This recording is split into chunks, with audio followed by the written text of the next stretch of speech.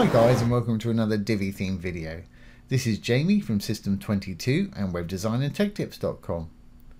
Well Divi has just announced a great update and it's for background masks and patterns and we've got one here on our little top section there.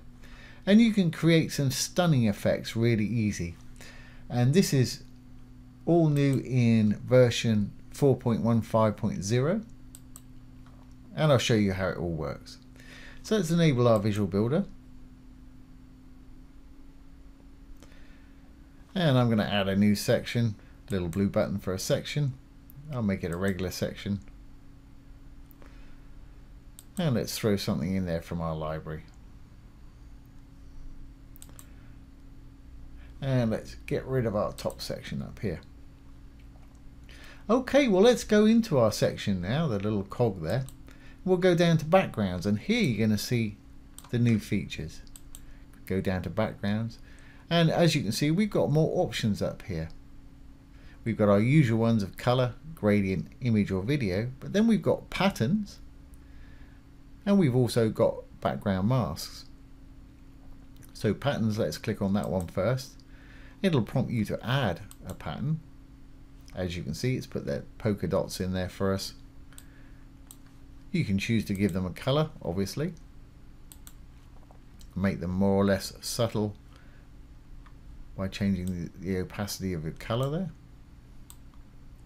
I'll leave that just like it is. And there's all kinds of patterns to choose from. There's some wonderful little patterns right here.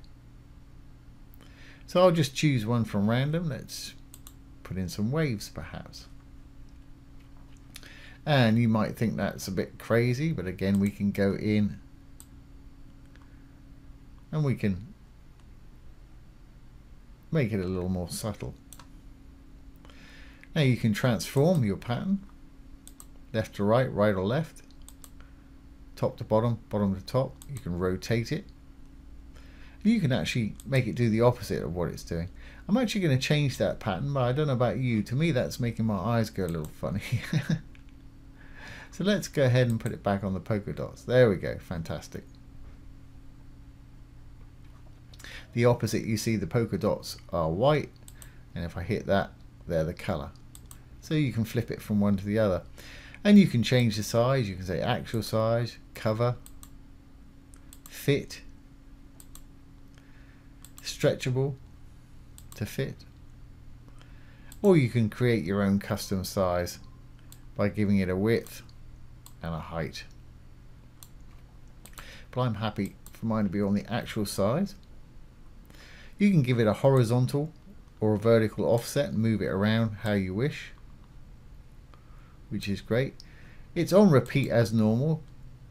You can repeat just via the x-axis or the y-axis. Repeat with space between and it puts a little bit of space in between each of our little dots here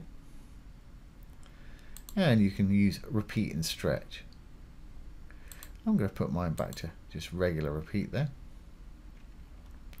Now the great thing here is pattern blend mode. mode. We haven't actually got it anything to blend it with, but if I go back up to the top here, let's flip it back so we got the regular polka dots. Let's put in a background image, say.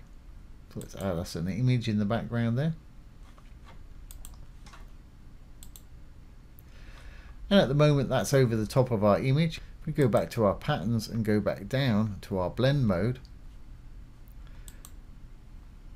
we can multiply it with the image. You can get some crazy features by going for luminosity and things like that. Exclusion. Color dodge. Hue. You can get all kind of crazy things going with that.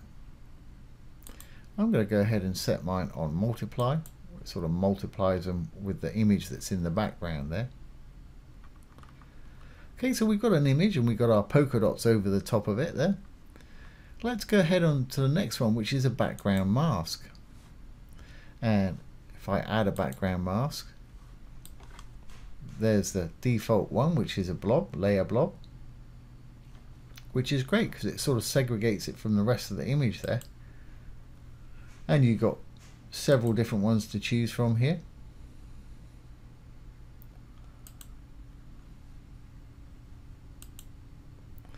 Quite a nice feature. And again, you can add a color to your mask if you want to. Remember, if I add a purple, you see everything turn purple and you can blend things. I quite like that back as white. Let's put that back on white. And again, you can transfer it. You can flip it the other way around. You can flip it top to bottom. You can rotate it. And again, you can do the opposite. So it appears white and the background's in there. So there's some wonderful features. Let's just take this off and have it how it was. Quite like that. You can change the actual aspect ratio of it by clicking on our little buttons here. So if you want to do different ones, you can. And again, you can stretch to fill, you can cover, fit, or create your own custom size. Bring it up however you wish. But for me, I quite like the stretch to fill, that works nicely. So there we have it. There's a quick overview of the brand new background mask and pattern feature they've just added to the Divi. So just to recap, go into whatever it is, content. If I save this, you can apply it to rows, you can apply it to individual modules if you want to. If we go into this individual module, and it's always going to be in the same place under content, down to background. Let's move this over there. Let's give our module a little background color. There we go. And put a little pattern behind there. Let's choose a different one this time. There we go. Let's make it purple again. Well, let's make it blue because I guess our little icon's blue. And we'll take the opacity down just a little bit. And of course, when you're happy with whatever you've done there, you can add a little background mask. Something like that. So these are wonderful new features that they've employed here. You've got a blend mode with this also and you can do your mask size if you want to. So there we have it guys, there's a nice little overview of the brand new features with background masks and patterns using the Divi theme. I'm going to get rid of that. There we go. Really great idea to enhance your site. Let's just check it on the front end. And exit the Visual Builder. And there we have it. So I hope you've enjoyed this today and found it useful.